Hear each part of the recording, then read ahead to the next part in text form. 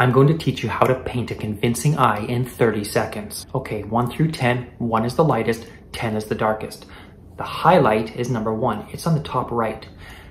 Number 2 is going to be at the bottom left. That's because the light goes through the eye, just like the translucent grape of the last video.